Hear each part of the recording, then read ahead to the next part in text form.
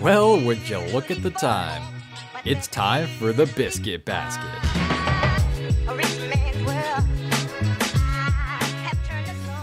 So, back to back games on a weekend. 10:30.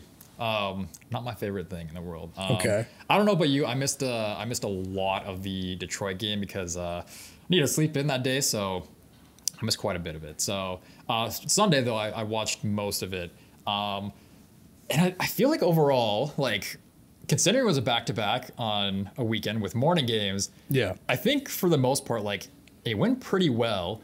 Um, They, they look tired. yeah, but the one thing I will say though is they walked it like they talked it.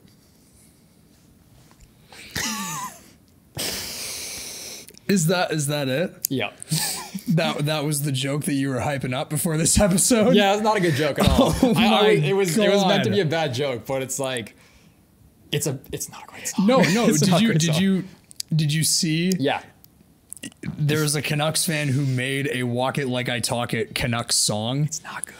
and everyone on Twitter is so so mad. Listen, I I respect the effort. You're just trying to have fun. Oh, the vibe. Yeah, it's it's it's for the vibes, but you're ruining the vibes. Yeah, and like we've seen that stupid Calgary Flame song that went viral like last year. The roof, the, roof, the roof, on the roof, the roof. Uh, yeah, that got clowned on for ages and it still is. And uh, yeah, I don't know how. I mean, I don't think this this song is gonna get as big, but It hasn't. Yeah, and it won't. It won't. It no. is so. Did you see? Did you see the line? Oh my god! It was like Zadorov, Soucy, Myers, and Cole, all are very, very tall. Yeah, I was like, what is this? That's- oh my god. That- that- no, that's that's someone who's gonna make it oh yeah, no doubt. in, Did you? in, in, in music. 100%. did you um? Did you ever watch those like parody song videos that people used to make in, like 2011, like all the time? There were some good ones. Pretty ones. sure man. Clay Imoo made one of them. I Oh, could he's, be he's made a wrong. ton. He's made one with uh with Bo Horvat. I don't mind that one. Those are right. It's like 52 Yeah. Horvat magic on the ice. Oh Yeah. my god, I that was that. that was. Oh my god, when was that? Uh, like 2015-ish, probably a bit later. But. Oh man, that's Um, wild. Yeah, there was some there were some good ones in 2011. I remember like there was one against the Hawks where it was like, uh, oh, I don't remember which song there was. It was a Kesha song. Uh, Cassius, oh yeah. TikTok. wasn't wasn't that one? It was um. There was this. I don't remember what the name was, but they're like ole ole ole ole. It's like sounded like that. And it's like Is that the, is that not the Bouncing Souls? No, no, it's like it was a parody of. I, th- I think it was a Kesha song, but like Okay. it, it, it kind of slapped. like I don't like that's the thing. Like if you make a song like that, then sure, I'm okay with it. But Well, you have gone on record saying that you loved the uh, Calgary Flames song too. totally, my favorite song of all time. No, no, definitely you- don't think it's No, on terrible. record. On record. Yeah, this is true. This is totally true. No, what, what about it did you like so much? Well, you know, they're gonna Nothing. He liked nothing. Not nothing at all. No, I didn't. No, it's like it's it's very. If you want a way to say it, it's very white, I'm not gonna lie. So, because uh, it's it's it's not great. It's I'm not, not gonna. rapping. I'm not gonna say you're wrong. It's- you're not wrong. yeah, I mean, it's about the Calgary Flames team in Alberta. It's the most like white boy thing I've ever seen in my life. So, Have you considered that Zadorov, Soucy, Myers, and Cole are all very, very tall? I have, but does that make them good? Uh no. Some of them are pretty good though. Yeah. especially Carson Soucy. I would argue two of them aren't, though. More on that in a bit. Yep, So the Canucks had a pretty good weekend. they did. It was a pretty successful. Ah, I think on form, three out of four points is pretty fair. Like I think if you told me, if you showed me the stats for each game, and then they walked out with three out of four, I'd, I would have been like, yeah, sure, that's fine. But I feel like it was reversed. I feel like Yeah. they didn't have a good game against Washington, but they were they just looked tired, if I'm being totally honest. But against Detroit, I thought they looked really good. Uh, that third period was a bit iffy, but honestly, I mean, people are going to look at this and be concerned about how we're playing or how they're playing. I just I did the whole parasocial thing again.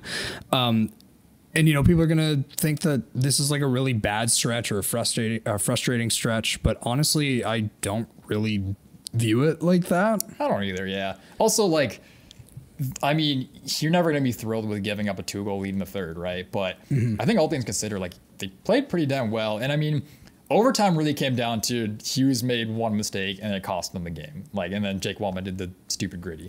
So, Oh, yeah. yeah. Did you did y'all hear about that? We got the producers behind the the cameras here. Did y'all did, uh, nod your head if you saw that?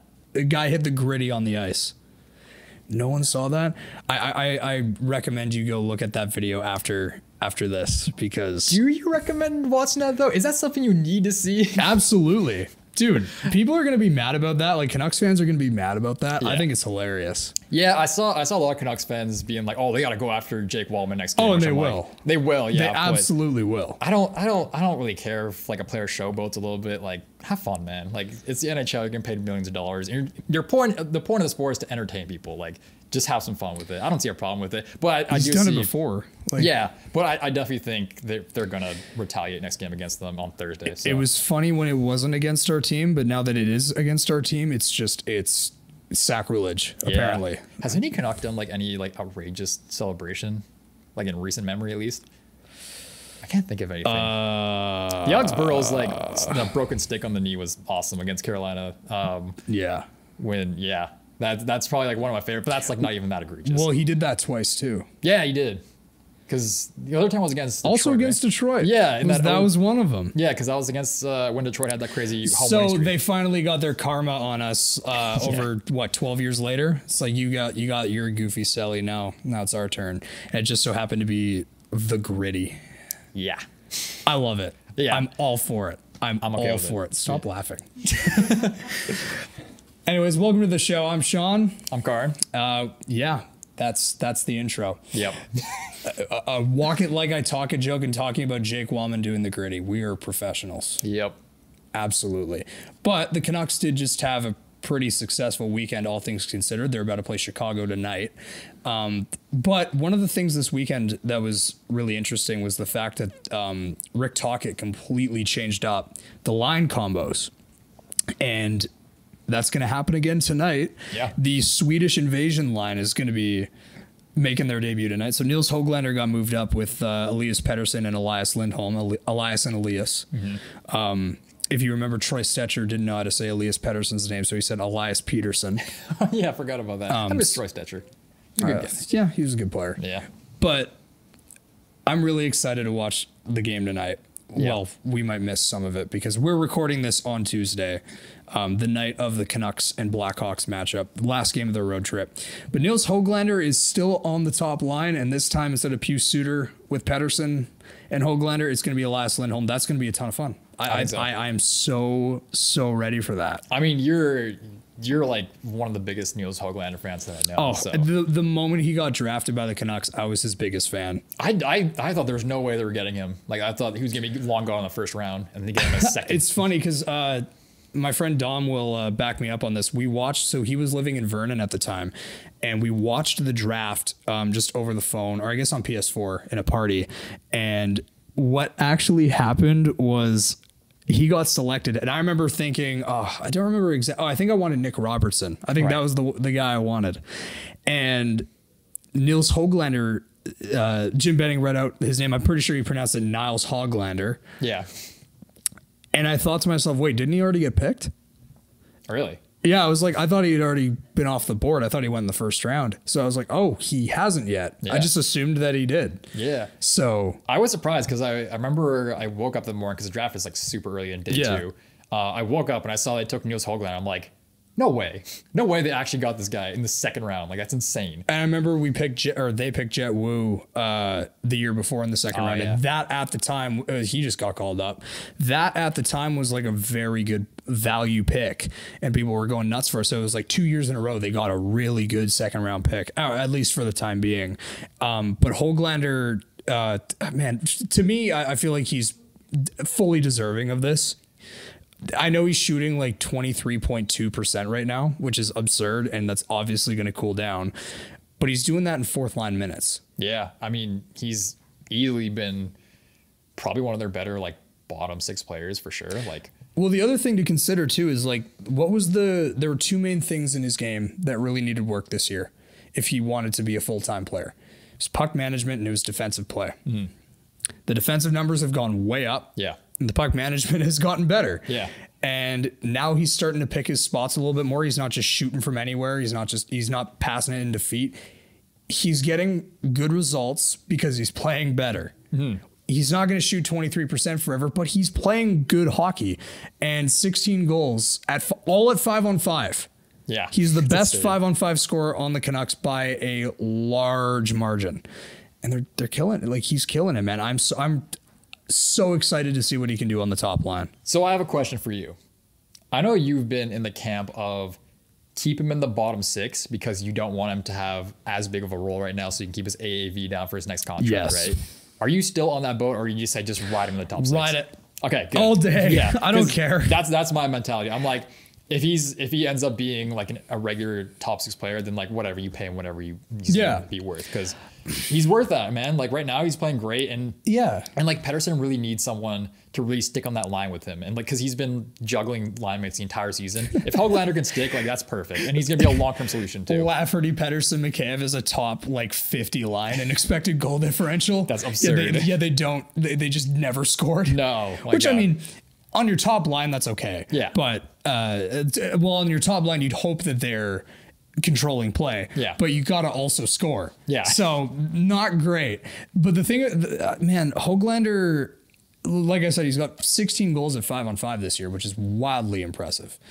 Um, but like you said about the about the hog plan that I laid out on Twitter a little bit ago. The hog plan. Basically, what it was was you keep him in his current fourth or at the time his current fourth line role. Uh, don't give him any power play time and just see if he can continue shooting the lights out. And then next year you bump up the ice time a bit, you give him power play two time, and then you sign him for cheap. And then that's when you really start to the next year you really start to bump his minutes. But if he's getting the minutes bump now, sure. Yeah. Like I've got no complaints. He's he's a sick player. That goal he scored against Washington was disgusting. I kind of feel like just just the way he plays, he's he's like an underrated prick on the ice too. And I feel like oh, that's hundred percent. that that is going to be so nice in the playoffs too, especially if you play a team like Vegas as well, right? He might get outsized by a bunch of players, which is fine, but like he he can he can piss people But off. that's the thing is he yeah he's small. I think he's only five nine. Yeah, but he plays a lot bigger than that. Oh, yeah. And I know that's like such a cliche thing to say, but it's true. it's kind of He just did- like Brad Marchand. When was the last time Nils Hoglander lost a board battle? Has he lost a board battle this year? I can't remember. Definitely, yeah. but no, uh, no. He's he is one of the best four checkers on the team by far. Oh, yeah. Garland, I think, is the only one who, and it's funny because he's also short. Yeah. but I think he's the only one who I'd say is for sure better. Hmm. Dakota Joshua as well. But Hoglander, it's it's the speed, it's the tenacity, dude. You you watched the highlights in Sweden? He'd get suspended. oh yeah, dude, like twice too. Like he, one he for high elbow. mis- he was Mister Flying Elbow. yeah, the flying insane. forearm. That's insane. No man, he was he was y- underrated prick. That's a good way to put it. Yeah, he's a freaking wrecking ball, man. Like Can I, I take a few of those guys? Yeah, and I, I feel like um, I don't remember who mentioned this when he was drafted, but somebody was saying he reminds them of Brad Marchand a little bit, just like the way he plays, because he's just like an undersized guy who's kind of a prick. I don't think he's gonna be like Brad Marchand, but like that kind of mold, you know what I mean? So Do not use the Brad Marchand comparison in front of me because I will take that and I'll run. You give me an inch, I'm taking a mile oh yeah, that. dude. But this is a player to get excited for. I think. Like You think we have, we you think they got a player here or what? I mean, as long as they don't like trade him, that's for someone at the deadline, which I really hope they don't do. But I think he's a player. I think he's just a guy who can fit well in this lineup, like wherever you put him. So you keep him for this year, you keep him for next year, and if all goes well, you sign him long term, and he's a regular NHL player for you. I hate to sound biased here because I say this a lot when players are shooting the lights out and I'm like, ah, well, they're going to slow down. And there's no like there's no doubt in my mind that Nils Hoglander is going to slow down.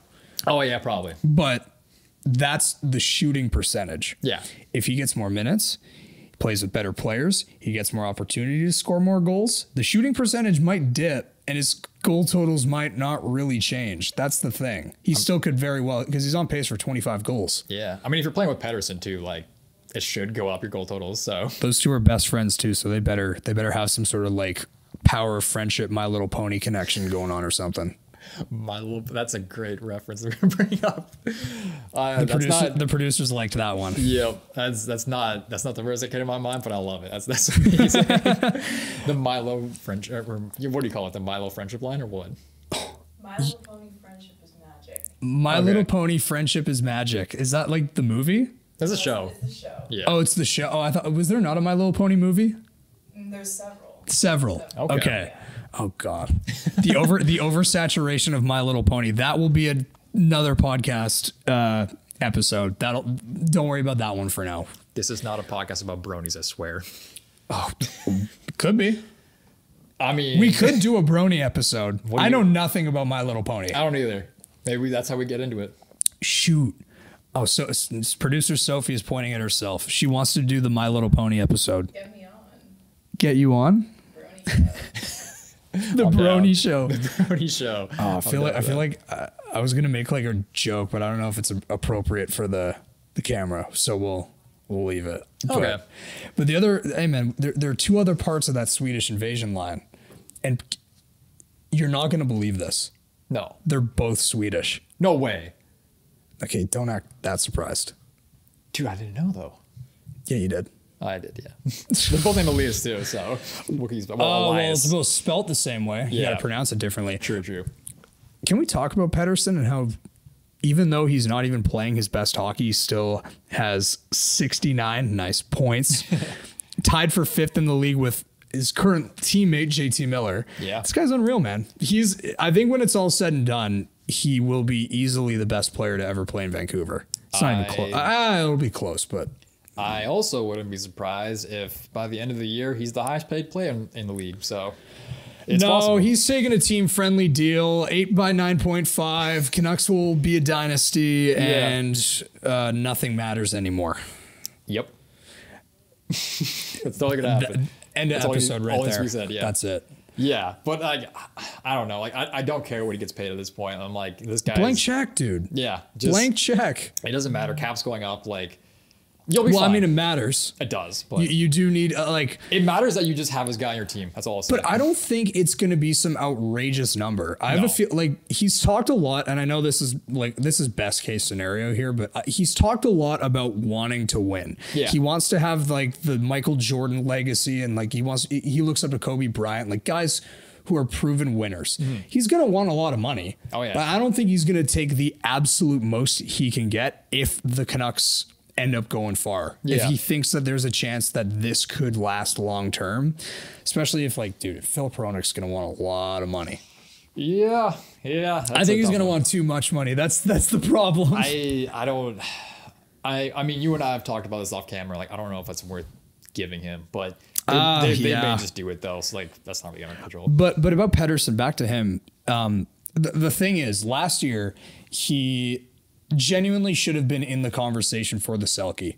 In Yeah. my opinion, I thought I thought he was that good defensively, two way, not just defensively. He put up 100 points, um, which obviously is incredible. This year, he's going to definitely surpass the 102 point plateau that he hit last year. But the thing is, is if like if you watch Pettersson play right now, even just throughout the season, he doesn't look like near the player he was last year. Right? I, I mean, at least I don't think so. Mm-hmm. He's obviously been probably a top five centerman in the league, but there's another level there Yeah, his defensive results have even dropped off significantly too, and he's not controlling play near at the rate that he was in years prior. So if you're getting 69 points in 52 games, I think he's played so far, Yeah. and you're not even getting his him at his best, that's terrifying. yeah. It's absurd. Like, I mean, there's been games this season too where he's looked like not very good. Like Terrible. Especially like the last like three games. I mean, Boston, no one De- scored. So Detroit, he looked really good. I mean, Yeah. I know he had three points, but that was a game where I he, there was genuinely like he was a lot better there. But that's the thing, though. Like, even like in a lot of the games where he doesn't look that good, like he's still producing. Like, this, it's absurd. But that's it. Like we're gonna see him sooner rather than later. I would bet on it. Like I'd easily bet money on it. If if him, Hoglander, and Lindholm can get chemistry, that line will like that line has a chance to be really, really dominant. I think he just needs like some linemates to stick with, like I was saying before. Like if he can find some consistency with linemates, and I'm hoping this lineup that they have now is like what sticks for him because if it does work, like it's it works really well. Like Lindholm can do a lot for them defensively. Yep. Hoglander can provide offense. I mean, so can Lindholm as well. But I mean, if they get something that sticks, I think he's gonna keep flying even more than he is right now. Well, and that's it. It's like I don't even think he's flying. I mean, Yeah. obviously the production jumps off the page. Yeah. But in terms of like actual underlying, like just the raw data, like without any context, it doesn't look as impressive as years prior. And I think I don't because there was a bit of an injury or at least a setback last year, if I'm not mistaken. Right? I think so. Yeah. I can't remember. I don't think it was like very long, but there was one. Uh, or, or sorry, it would have been last year. It would have been early this year. Uh, early this season. Right. But I know that um, there, especially near the start of the year, he really wasn't looking like himself, and I don't think he's fully gotten back there yet. Um, I will say, when when the lotto line was together, he- I mean, it was automatic. You Oh, put yeah. him, you put him with high end talent, he's gonna he's gonna torch the earth. Like Yeah. that's how it works.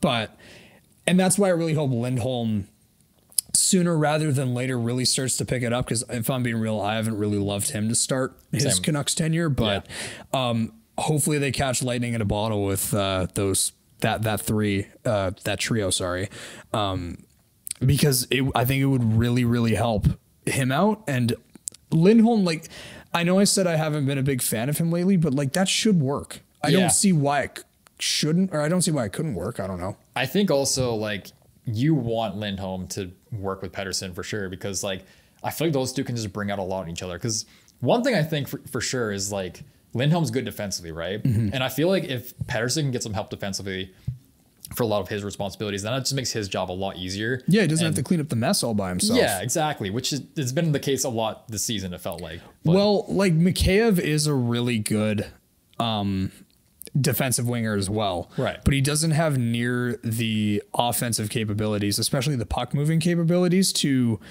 you know, transition cleanly out of the zone if, if he's the one who has the puck in transition. Right. Like he has all the speed in the world. Actually, well, the ACL injuries kind of set that back. Yeah. But there are limitations to having him and Pettersson together. Hoglander, the puck management's gotten way better. The defensive results have gotten way better. That's going to also, I think, I think that also has helped already in terms of and, and adding Lindholm as well is really going to benefit, I think, Mm-hmm. um, to those two. Um, but but you saw with Pius Suter too. Like Pius Suter gets results no matter who he plays with, Oh, and he also gets them results as well. He's the prototype plug and play guy. He is the perfect value player for what he brings. Yeah. 1.6 million is so stupid, by it's the way. It's ridiculous, man. It's such a good cost for another year too. Like that's absurd. I know I've told you this many times, but I remember being in my kitchen. I think it was doing dishes or something. And this is right around the time when a lot of people were talking about the Pettersson um, uh, contract and if he was going to sign, when he was going to sign. It was it was in the dog days of summer. Stories were, um, you know, peop journalists were desperate. yeah. Um, so, and fans were just trying to start conversation. But I remember getting the notification from the Canucks Twitter account seeing general manager Patrik Allvin has announced that. And I was like, oh, there it is. Yep. And I saw that it was Pius Suter on a two year deal for 1.6 mil AAV. And I remember being even happier that it, that was the signing. Yeah. Instead of Pettersson. Cause I feel I, like I still think the Pettersson signing is going to come. I Yeah. really wouldn't worry about that.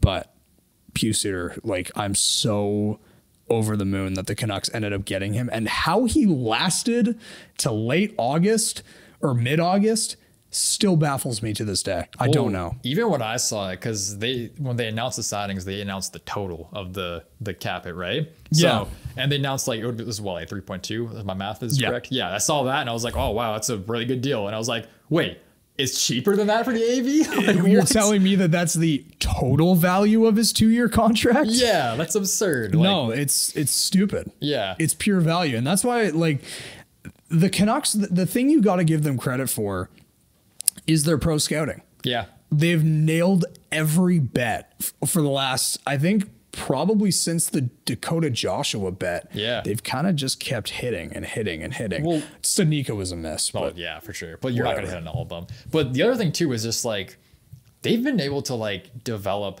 not not as much um I guess recently uh like younger guys, but they've been able to develop like players in like really good like everyday NHL players like Noah Juulsen. Like this guy Yeah. was, this guy was cooked at the start of the year. And like now he's like he's a guy like you can put in every night if you wanted to. who knew that a a development staff, like a good development staff, could actually really benefit your organization? Who uh, I news to me. I don't know. Yeah. it's been years since we've had that.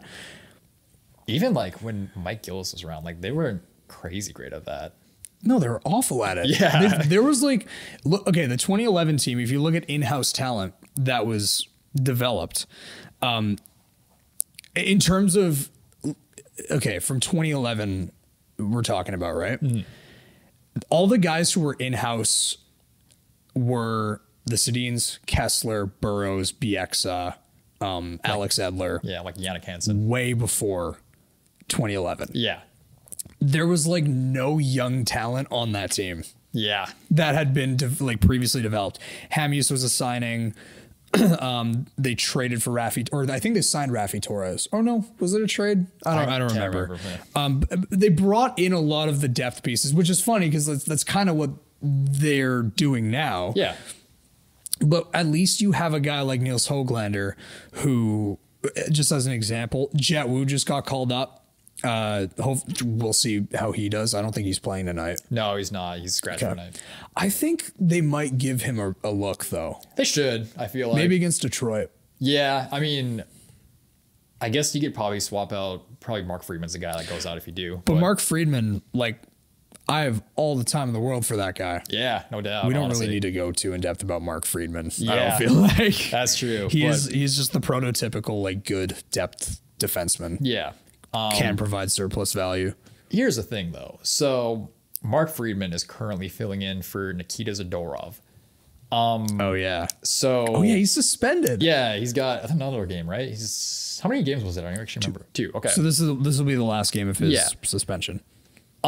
So do you actually want him back? Um, I mean, obviously he's gonna be back. Trade him. Yeah, uh, because I'm kind of in that boat too. I'm not gonna lie. I know that Canucks fans are going to be really upset. Um, or some Canucks fans already are upset Mm-hmm. at this discourse of the Canucks potentially trading Nikita Zadorov, but why not? He Yeah. hasn't been good. I I said this uh, previously where I was like, if you're going into the playoffs with Zadorov and Myers on your on your defense core, you're just asking for a disaster because.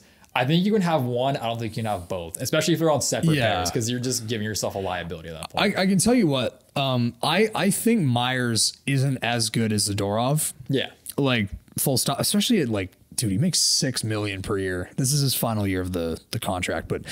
Zadorov at 3.8, I think is a little much, but Yeah. at least there's value there. Like historically has been a pretty good shutdown, like bottom pair guy at the Yeah. very least. And he also can just provide fireworks by throwing the biggest hits ever. But um, I'd say the first few months of him being here, I thought he looked pretty good. And it was right about until um, the All Star break, like just before then, where he really started to look not as good. Yeah. Like, and, and and again, the raw analytics will show you that he also has like his plays dipped considerably since then. Yeah. And Rick Tocchet knows it. Like he's benched him a couple times. Oh yeah, I think. he, he should at that point because just if you're having a player out there who's not doing anything for you, like bench him. Like I don't see a point in playing him. And just I don't know. I don't. Zadora's fine, right? Like he off he gets big hits. People love that. My dad loves him for that reason. Like it's insane. My dad loves him for that reason. yeah, but I think at some point you have to sit there and realize like, does this player help us win hockey games? And I'm just not sure that he does. I mean, I do think he does, but um, I, I don't think. Listen, there's going to be teams at the deadline who are going to be looking for a six foot six left handed defenseman Yeah, who can absolutely kill people. Like, there's always, always a market for that, and I'm trying to. I'm trying to think of like what the potential return could be because I know that they got a third and a, or Calgary got a third and a fifth for Zadorov, but because it's the deadline, because GMs become more desperate because the prices go up. Mm-hmm. I could see a team like throw in a second round pick at the Canucks for a guy like Zadorov because six foot six defenseman, as as much as I don't think height matters at all in terms of a player's quality, some GMs still do Yeah, absolutely. and it's regressive and it's it's BS in all in all honesty, but it, it's true. Like you see every year, at least one super tall defenseman get overpaid way too much money in free agency. Uh, There was that one year where Erik Gudbranson and Ben Chiarot both got over four million per year on multi-year deals. How? I don't know. At this point in their careers, too, like it doesn't make sense. No. Um, so I do I do think there's value in keeping Zadorov. Don't Yeah. get me wrong, because I do think he's better than what he's shown over the last few weeks. But if there is a market for him, you absolutely move him and you try and upgrade. You don't just move him to move him. You try and get like I don't know, a Nick Seeler or a Sean Walker or a Chris Tanev or Yeah. someone of the sort that I think personally will provide way more value than Zadorov does. Yeah, I think if we're betting on this, I feel like he'll probably end up staying on the team, most Yeah. likely. But yeah, I agree. If there is a market for him, you explore it. And the funny thing is, when when you think about like teams who could go after him, right? Mm-hmm. Um, who was the last guy to acquire Nikita Zadorov? Is that Mr. Brad Tree Living? It might be Mr. Brad Treliving, and it kind Oh, of seems like they need a defenseman. No, they've been looking. Uh, apparently, they want Ristolainen. Like, apparently, Oh, that's the yeah. guy they're targeting. Apparently, the Canucks are are kind of sniffing around him too. but- Don't don't buy too much into that. They're probably just poking to see Yeah. what's what's there. But I don't think the Canucks are going to get Ristolainen. Now that's gonna that's gonna end up on like a TikTok in like two weeks. Just that soundbite of Oh, me yeah. saying that, and then they're gonna overpay for him, and then I'm gonna look like an idiot. But that that's two weeks from now's problem. Yeah. No, but I, I mean, I could see Brad Treliving trading for Zadorov because I he has a history of not doing a whole lot at the deadline. So Yeah. we'll see. But the thing is also like there was rumors that he was trying to get Zadorov and Tanev in a deal, but that fell through, and that's why the Canucks were able to get Zadorov. So it's very possible if they really want him. I think if they swing for Tanev and they miss, Mm-hmm. Zadorov will be like their backup plan. Uh, and then, or maybe like a Nick Seeler or a Sean Walker. Like there are def- the the market for defensemen, like second pairing caliber D-men, it's pretty big this year. Yeah. So, although I don't think Zadorov is in that tier, but because of the size and the physicality, like there's always going to be a market for that. But yeah, I don't know. Um, yeah, I, I I'm with you. I don't think they should, in a perfect world, keep both. Yeah. But they, I mean, I don't, I don't really mind if they do. Like, Yeah, you could have, you could have your bottom nine D of Cole, Soucy, Zadorov, Myers, and those are four just hulking monsters on your back end. Like that's intimidating. It is. I'll be real with you though, like I kind of want to see Noah Juulsen in his lineup at some point though. Like he's been playing well Yeah. enough. It's it's nice watching a defenseman who doesn't get beat wide like Myers does all the time. Well, it's because he's not chasing hits anymore. Yeah. Like Noah Juulsen was getting flamed in this market for so long, be, uh, at the, especially at the start of the year, because he was always out of position because he was always looking for the big hit, and then he got sent. Did he get sent down? Uh, or no, he, so, no, he stayed on the active roster, but he Yeah. Mm-hmm. never ever got playing time. And then the moment he went back into the lineup, everyone was like, "Oh crap!" And then just slowly but surely, he's just kind of he's completely revamped his game. It's Yeah. it's really it's like thank God Yeah. because like genuinely he was unusable for the first leg of the of the beginning of the year at least. Yeah. You also mentioned um, how he's going for big hits.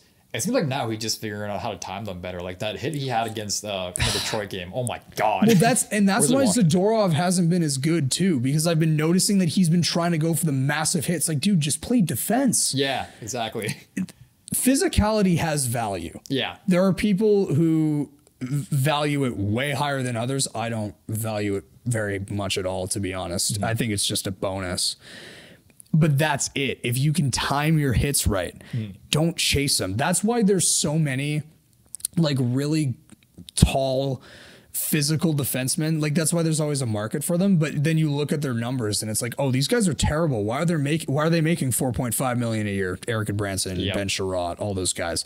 It's because in the playoffs you see them lay that big hit and you're like, yeah, I want some of that. And then the pro- only problem is is they're surrendering five goals every two games because they suck. Yeah, they don't really do much outside of the big hits. So they're easy to walk around, which kind of like Tyler Myers, but um, but yeah, it just I, they they have a purpose. I understand that. Like Yeah. big hits are they're definitely useful in the playoffs, especially when you're trying to get under a player's skin. But you can only have so much of that. We'll see. Like the Canucks can do a few things. Like I don't think they're done. I think they're going to No. try to continue to add. And I mean, Phil Kessel was in Vancouver. Like w- we just got the notification like minutes before we started recording that Yeah. that Phil Kessel's in town to meet with the Canucks. I don't really see the fit. I don't either. It's probably going to be league min. Hey, you're our 13th forward. He's not a play driver. He's not good defensively, but he could still kind of shoot it, and he's still a good passer. So it's like if one of the top six guys gets hurt, you maybe put him with Pettersson like in a pinch. I don't see him playing a fourth line role. There, if he's being brought in, it's like, oh, Lindholm's hurt. Let's put him with uh, let's put Kessel with Pettersson and Hoagland or whoever they decide, Mikheyev maybe, um, to try and see if you can squeeze out a little bit of value there Yeah. Which is fine. But I would rather them use their cap space more wisely. Yeah, I, I kind of agree on that. I mean, definitely doesn't hurt ever getting a free player, right? So Yeah. you could definitely benefit from that. And plus, like, maybe not as much now because he's a bit older, but he's a fast player, and they could always use some speed in their lineup. So Yeah. easy like plug and play player if any injuries happen. But Mm-hmm. again, I don't I don't see the fit, but you know what? Whatever, we'll we'll, we'll roll with it. So obviously, this is a very Canucks centric show. Like that's the main focus. But we do kind of want to talk about other NHL stuff. And one of the things we discussed in the workroom before the show was I asked you what your Stanley Cup final prediction is this year. And I know that it's only like just over the midway point of the season, but this is interesting. So this by this I mean you can't predict how each series is going to go, but I I'm looking at it as who's the best team in each conference. Mm-hmm. That's my guess for now. But once the playoffs actually start, I'll have a better prediction. Did you have any teams in mind? You don't even have to name like the two you think, just teams that you think are legitimate cup contenders in each conference. I will at least. I will I will say one from each conference. So Okay. Um, you might have the same as mine. I'm fully prepared. Yeah. Okay, so for my Eastern pick, I will say one thing. It would have been Carolina if they had some Dude. consistent goaltending, I which can't. don't. I, I'm the biggest Carolina Hurricanes defender, and I can't even pick them. yeah, I, I can't do it. Their goaltending has been a mess. I mean, Kochetkov's fine, but he's still a rookie. Like he's not going to bring you to a cup, most likely at least. and they don't have enough like high end scoring talent. Yeah. like Aho is sick. Jarvis can be really good. Mm-hmm. Um, and Svechnikov, I think, is a world beater who Yeah. hasn't really been given full reign to do world beater stuff because of Brind'Amour's system. Mm-hmm. I think the system that they play holds them back, but at the same time, they generate so much. Yeah. So it's like maybe the dam is about to break. I thought it might have been last year, but I don't know. So I, I, I get it. Yeah, though. it's like they're they're just they're close to like being like a favorite, but for me, it's I think it's far and away the Florida Panthers right now. Like there's there's no other team that can like Damn it. That's, that's my pick. yeah, that, I figured, I figured. Because, like, up and down their line, like, we were looking at their lineup earlier today, and it's like, man, they're just, they're just solid all around. Like, Yeah. there's not many holes there. And plus, like, the style they play is just so well fitting for playoff hockey, too. Well, they they've all bought in. yeah, exactly. Maurice has a system they've all bought in, and and the thing is, is you may look at Bobrovsky and question it like, oh, he's he's average, like, but Darcy Kuemper won the Stanley Cup behind a really good team, and he had like one working eye Oh, god! in 2020. Do you remember that? Yeah. He had a, a a stick went through his mask into his eye, and he still played for the pretty much the remainder of the playoffs, and they won the cup, yeah. and he was he was good. Yeah. because he just had to be average. I don't, I don't see, I don't know who's going to really beat the Florida Panthers. Like, I just don't see a team who can really match their style, I guess, and like just play a full seven games against them. Carolina's the only team that I would bet against. I do not buy Boston No, at all. no, I didn't buy Boston last year. I don't buy them again this year. So, which like I mean, they we shouldn't will, be. we will be last year. let down again. Yeah, no doubt. Um, I mean, Actually, sorry, we weren't let down last year. What am I talking about? They got they got beat in the first round. yeah, which they should have won if they just played Well, yes. Swayman. But um, But I don't. I didn't buy them winning the cup. Oh yeah, same. I don't think. I had the Leafs winning the cup last year. You never. You you gotta learn from your past mistakes, man. You can't do that. Wait, no. Oh, I can't remember if I had the uh, Hurricanes or the Leafs. I think it was. Okay. I think it was the Leafs. But anyways. Anyways, yeah. So who's your team in the West? I hate to say it because I know they're gonna get. He's probably, gonna say the same ones as me. This think is so. Uh, I think they're gonna add a defenseman at the deadline, and it's gonna probably put them a bit over the top. It's the Edmonton Oilers. Shoot. because um, how do you bet against Connor McDavid and Leon Draisaitl? Like they're they're too damn good. Well, their depth is also good. Like their supporting cast is so good. I the only thing I don't like about this team is Darnell Nurse. Like everything else, I'm like, But he's good being. enough. I think he's also being held back by Cody Cece. Yeah, like he's not help. been good. Like dude, Cece's been trash this season. That's got to be one of the worst pairings. I've The one thing. I'll say, because I totally agree with you, like the Oilers control play better than any other team in the league, maybe besides the Hurricanes. Yeah. But I do think the Oilers are probably the best. Um, the one thing I will say is the West is such, like, it's literally just pick your. It doesn't matter. Like there are like five legitimate foes from the West. I think Vancouver, Edmonton, Dallas, Colorado, and then Vegas. And then honestly, I'm just very low on Winnipeg. Yeah. So I, I will throw them in there. Like there's six legitimate contenders in the West, but I do I, I I do think Winnipeg is like just slightly below. Yeah. All those teams. Although I'm not even that high on Vegas anyway. So I'm I'm I'm a bit higher on Vegas just because the way they play just fits playoff hockey like way better than like most teams, and they can just be pricks because that's Ca- what they are. The Canucks have a very similar defensive setup where it's like they've got a puck mover on the right, a puck mover on the left, and then a bunch of huge guys to fill out the bottom of the, the defense who can also move the puck. Yeah, And like, like that's like, dude, Brayden McNabb is sick. Yeah. He's so good. Yeah. Um, and other guys like Zach Whitecloud's really good. I'm really high on Nicolas Hague. Yeah, I think I like he's him. really good. Um, that's why I buy Vegas. Yeah. Like I, I totally, I totally see it. And I mean, they just won the cup. I, Yeah. Jack Eichel is a world beater too. Yeah. So no one ki- talks about him enough. I feel like he's not going to Eichel? praise. Yeah, he had that game against the Canucks earlier this year that made me totally question if he was maybe like because he was matched up against the Miller line, who at the time was still putting up really good, like really solid, solid enough results Yeah. at five on five, and they got absolutely dummied by uh, Barbashev, Eichel, and Stone. Yeah. and that made me kind of question if that was like a top five line in the league. And then I looked at the numbers, and no, they weren't. No. They just had a really good game. I mean, yeah, but just something about that team. No, you know, they just they know how to win, and that's the thing that's kind of scary. That's the one thing. Like if Canucks go against them in playoffs, like I think they can beat them, but that is a little bit of a tougher matchup. I feel like. But Yeah. going back to the Oilers though, um, it's kind of funny because at the start of the year, I wasn't as high on them as everyone else was. Because I don't know what it was, but I was just like, something just doesn't feel right about this team. Like something just doesn't convince me that they're a cup contender. And then I see that long win streak they go on and just how like purely dominant they are. I mean, they weren't playing the greatest teams either, but Edmonton, yeah, no. yeah, but just the fact that they were able to crawl out of that hole at the start of the season, I'm just like, They didn't crawl out of that hole. They exploded Oh, out yeah. of that hole. They won 16 in a row. Oh, like yeah. that's And you know what's really funny too about that? what's that? They barely gained any ground on Vancouver. No, they Because didn't. Vancouver's just really good. they kept winning, I, listen, I've I, I've been waiting for the regression. Yeah. I've been I've by like game 41, I remember being it was it was that road trip where they went to New York yeah, and they swept New York, all the New York teams.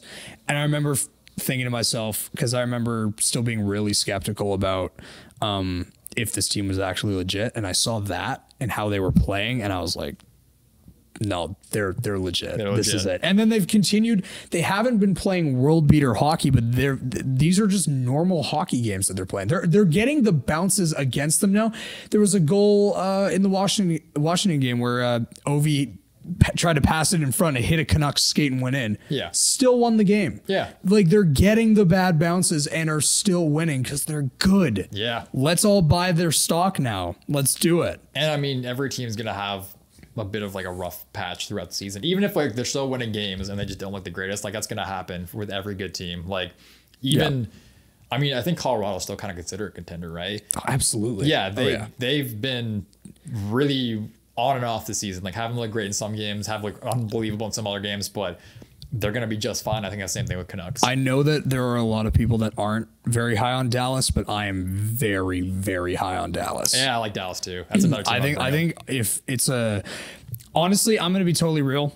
Uh, my cup finals predictions, I think the team that comes out of the West is going to be one of Vancouver or, or uh, Edmonton. Mm-hmm. Like it'll be one of those two. I think if those two face in the second round, that is the Western Conference final. Whoever wins that is going to go to the finals easy. Like that that's my pick. Well, So the Central kick rocks, none of you guys matter. But the thing is with Edmonton is they don't have a playoff song like we do. So They did last year. did they? Yeah. Which one was that? Uh, I don't know. it wasn't nearly as bad as the Calgary one. Okay. Which isn't nearly as bad as the Vancouver one. Yeah. We're so screwed. Yeah. Don't buy the stock. I lied. Yeah. All right. Be sure to check out our uh, the Evolution YouTube channel, TikTok, Twitter, all that stuff. We'll be posting clips basically throughout the week. Um, anything else you want to add? go Canucks go. That's all I gotta say. Oh, you homer. Hell yeah. All right. This. Uh, thank you so much for tuning in. We'll see you next time. Take it easy.